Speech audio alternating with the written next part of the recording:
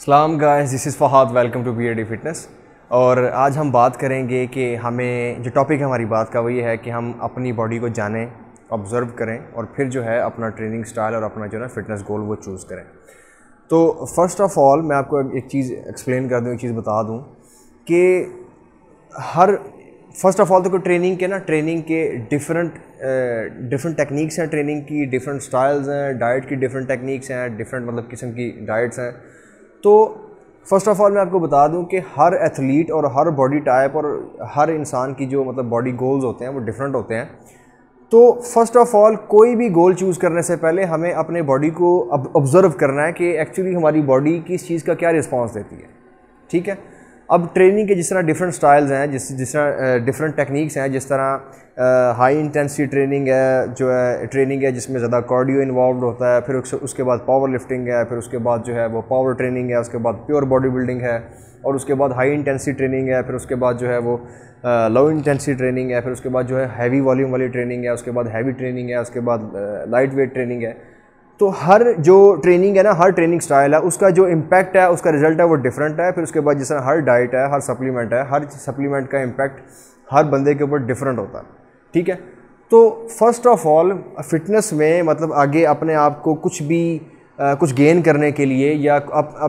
Fitness میں آگے جانے کے لیے یا اپنا گول سمجھنے کے لیے یا ٹریننگ کو سمجھنے کے لیے کہ سب سے پہلے آپ اپنی باڈی کو آبزرو کریں کہ ایکچولی کون سا سٹائل ٹریننگ سٹائل کون سی ٹیکنیک اور کس طرح کی ڈائٹ اور کس طرح کا مطلب اوور آل جو یہ جو میکانزم ہے، یہ کون سا آپ کو، آپ کی باڈی کو کیا رزلٹ دیتا ہے؟ فار ایگزامپل جس طرح اب جس طرح ایک پاور لفٹر ہے مطلب ڈیفینیٹلی وہ اگر آپ باڈی بلڈنگ میں آئے گا نا تو اس کی جو ساری فزیک ہے، اس کی جو باڈی کا جو اس کی، اس کے ورک آؤٹ کا رزلٹ ہے، وہ چینج ہو جائے گا بالکل۔ اور جس طرح باڈی بلڈر ہے، وہ پاور لفٹنگ میں آئے گا تو اس کی فزیک اس کی جو ورک آؤٹ کا میکانزم ہے ڈیفینیٹلی وہ بالکل چینج ہو جائے گا، جس کی وجہ سے باڈیز میں جو ہے وہ ڈفرینس آ جائے گا۔ جو باڈی بلڈر کی جو باڈی ہے، وہ ٹرانسفارم ہونا شروع ہو جائے گی پاور لفٹر پاور لفٹر کی باڈی میں۔ اور جو پاور لفٹر کی باڈی ہے وہ ڈیفینیٹلی وہ اس کی فزیک جو ہے چینج ہوگی، وہ باڈی بلڈنگ کی طرف جب آئے گا۔ تو اس اس چیز کو بھی جان لیں کہ ہر جو ٹیکنیک ہے، ہر جو ٹریننگ سٹائل ہے، وہ ہر ایتھلیٹ کے لیے سیم نہیں ہے۔ ہر بندے کے لیے سیم نہیں ہے، ہر بندے کا سیم گول ہو بھی نہیں سکتا۔ فار ایگزامپل جو لوگ ذرا جو فیٹی ہیں، ان کا جو ٹریننگ سٹائل ہے، ان کا جو ٹیکنیک ہے وہ ڈفرنٹ ہوگی، جو بندہ پتلا ہے، اس کی ٹیکنیک ڈفرنٹ ہوگی، جن لوگوں نے مسل گین کرنا ہے، ان کی ٹیکنیک ڈفرنٹ ہے، جنہوں نے جو ہے پاور گین کرنی ہے، ان کی ٹیکنیک ڈفرنٹ ہے۔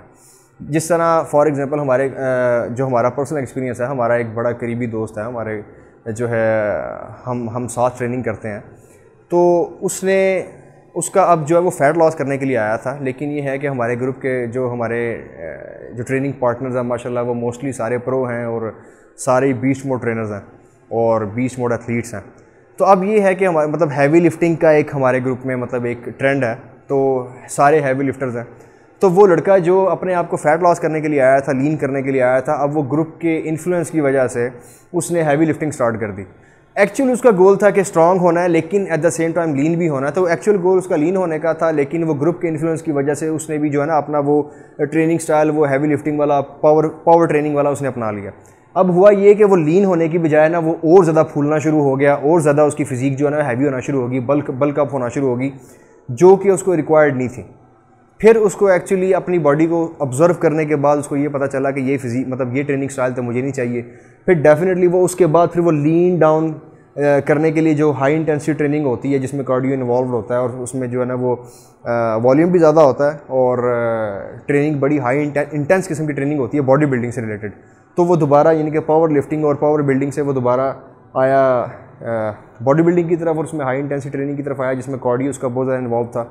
تو اس کے بعد پھر اس کی باڈی نے اس کو جو ریکوائرڈ رزلٹ دیا اور اس کے بعد پھر جو ہے وہ ایک، اس کو تجربے سے پتہ چلا کہ ہر فزیک کے لیے ہر قسم کی ٹریننگ نہیں ہوتی، ہر گول کے حساب سے ٹریننگ سٹائل ڈفرینٹ ہوتا۔ ہے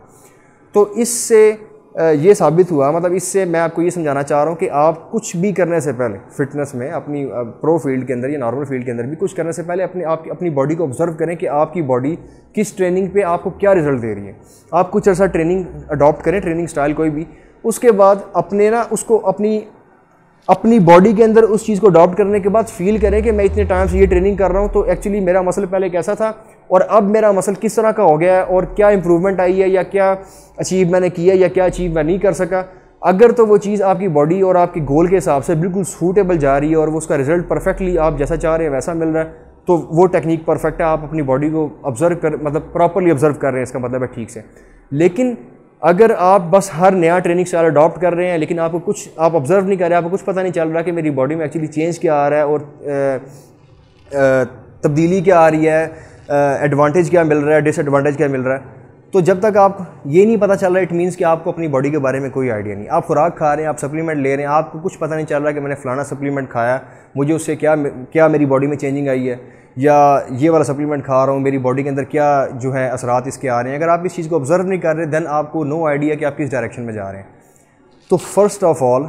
آپ اپنی باڈی کو آبزرو کریں ایوری تھنگ جو آپ کھاتے ہیں، جو آپ ٹریننگ اسٹائل میں اپناتے ہیں، سب چیزوں کا امپیکٹ اس کے ریزلٹس اس کے ایڈوانٹیجز اس کے ڈس ایڈوانٹیجز اپنی باڈی کے اندر، اس کو آبزرو کریں، اس کو جانچیں، اس کے بعد، جانچیں، اس کے بعد جو ہے نا، پھر آپ اپنا گول سیٹ کریں کہ آپ نے کیا کرنا ہے، کیا نہیں کرنا۔ ہوپ آپ کو ویڈیو پسند آئی ہوگی۔ اگر آپ کو ویڈیو پسند آئی ہو،